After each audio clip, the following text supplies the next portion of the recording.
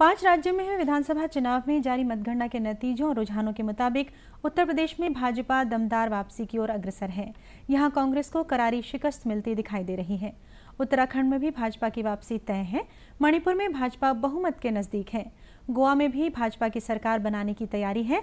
वहीं पंजाब में आम आदमी पार्टी को स्पष्ट बहुमत मिला है। उत्तर प्रदेश में सभी 403 सीटों के रुझान मिल गए हैं। भारतीय जनता पार्टी भारी अंतर से आगे चल रही है। उसके उम्मीदवार दो सौ अड़सठ सीटों पर आगे हैं। समाजवादी पार्टी ने 130 सीटों पर बढ़त बनाई है।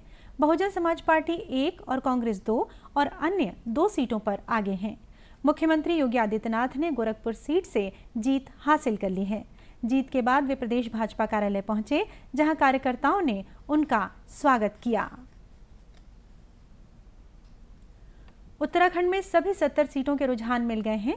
कांग्रेस 18 सीटों पर और भारतीय जनता पार्टी 48 सीटों पर आगे है और अन्य चार सीट पर आगे हैं। पूर्व मुख्यमंत्री और कांग्रेस उम्मीदवार हरीश रावत लालकुआ निर्वाचन क्षेत्र में भाजपा उम्मीदवार डॉक्टर मोहन सिंह बिष्ट से हार गए हैं। पंजाब में सभी 117 सीटों के रुझान आ गए हैं।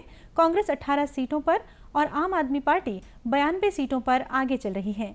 शिरोमणि अकाली दल चार सीटों पर, भारतीय जनता पार्टी दो सीटों पर और निर्दलीय एक सीट पर आगे हैं। अमृतसर पूर्व सीट से पंजाब कांग्रेस प्रमुख नवजोत सिंह सिद्धू चुनाव हार गए हैं। आम आदमी पार्टी के प्रदेश इकाई प्रमुख और मुख्यमंत्री पद के उम्मीदवार भगवंत सिंह मान धूरी निर्वाचन क्षेत्र से जीत चुके हैं। अकाली दल के प्रकाश सिंह बादल लांबी से चुनाव हार गए हैं। पटियाला में पूर्व मुख्यमंत्री और पंजाब लोक कांग्रेस के कैप्टन अमरिंदर सिंह चुनाव हार चुके हैं।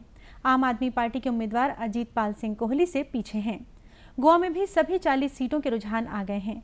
भारतीय जनता पार्टी 20 सीट और कांग्रेस 12 सीट पर आगे है। आम आदमी पार्टी ने दो और अन्य ने छह सीटों पर बढ़त बनाई है। गोवा के वर्तमान मुख्यमंत्री प्रमोद सावंत चुनाव जीत गए हैं। गोवा में भाजपा के नेता प्रमोद सावंत की अगुवाई में राज्यपाल से मिलकर सरकार का गठन का दावा पेश करेगी। मणिपुर में विधानसभा की सभी 60 सीटों के लिए हुए चुनाव के रुझान प्राप्त हो गए हैं।